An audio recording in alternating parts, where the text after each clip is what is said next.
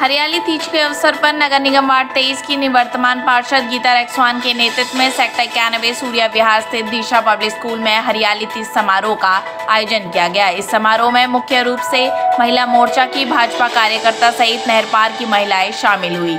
इस मौके पर उपस्थित सभी महिलाओं ने हरियाली तीज के पर्व पर सभी रीति रिवाजों के साथ सावन के गीत गाते हुए झूले का आनंद उठाया। एवं मेहंदी लगाकर हरियाली तीज के पर्व को मिलजुल कर जोरदार ढंग से मनाया। इस समारोह में रेखा नायक, लाभा मालवी, मंजू शर्मा, आयुषी सिंह, यशोदा डबराल, गीता रावत, अंजना दास, कविता रावत, निशी गुड्डी, सुजाता, श्रेष्ठ शर्मा अनीता, अर्चना, प्रेमलता, श्वेता, कुंती, रीना देवी, रेणु शर्मा शांति लता नायक, कुसुम सहित अन्य महिलाएँ उपस्थित रही। इस अवसर पर निवर्तमान पार्षद गीता रेक्सवान ने कहा कि आज के दिन हम सभी इस बात का भी प्रण करें कि हमें आसपास अधिक से अधिक पेड़ पौधे लगाने चाहिए, ताकि हमारे आसपास हरा भरा वातावरण रहे और प्रदूषण से हमें मुक्ति मिले।